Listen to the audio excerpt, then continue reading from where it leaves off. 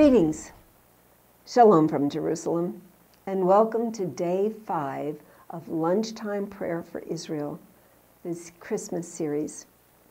This is a very important day because the oneness of God and yet three, the triune God, the Trinity, is very hard for some Jews to accept. So, the title of today, of course, is God is One. Deuteronomy 6, verses 4 and 5. Shema Yisrael Adonai Eloheinu Adonai Echad. Hear, O Israel, the Lord our God, the Lord is one. Isaiah 42, 8. I am the Lord, and that is my name.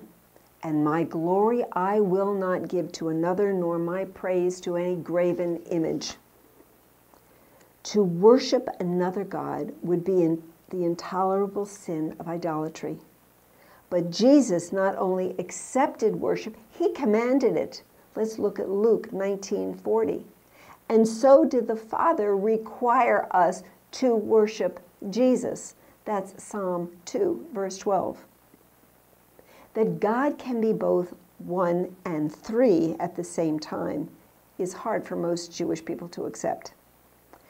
But the word God uses in the Shema, Deuteronomy 6, 4, and 5, the, the word that God uses for one makes it clear. The word God gave to Moses is echad, which is a compound unity. Night and day, echad, one day, Genesis 1 5. Man, woman, echad, flesh, one flesh, Genesis 2 24 grapes, many grapes, one cluster, Numbers 13, verse 23. There is another Hebrew word that means one, and that's yachid, which means singular. Genesis 22 2, when God spoke to, Mo, to Abraham, he said, Take your son, your one and only son. Well, Abraham had several sons. But God was saying, Your specific son, Isaac.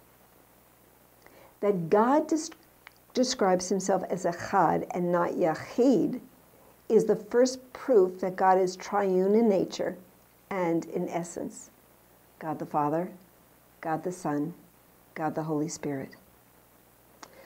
So we want to pray for God's love for Israel, that it will cast away all fear preventing faith in Jesus the Messiah.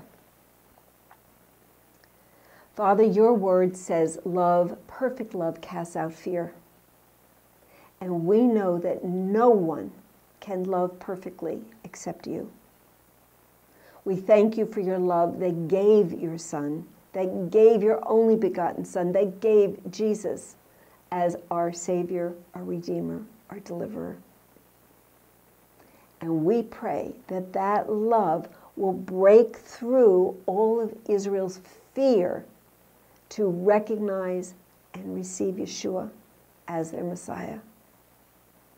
Use your love, use your word by your Holy Spirit to break through, that the Jewish people will look upon you. They will grieve and they will mourn, recognizing their fear eh, that has kept them in sin, sin of rebellion. And we thank you, Lord, for you will do this because we pray in Yeshua's name and because you have promised. Amen.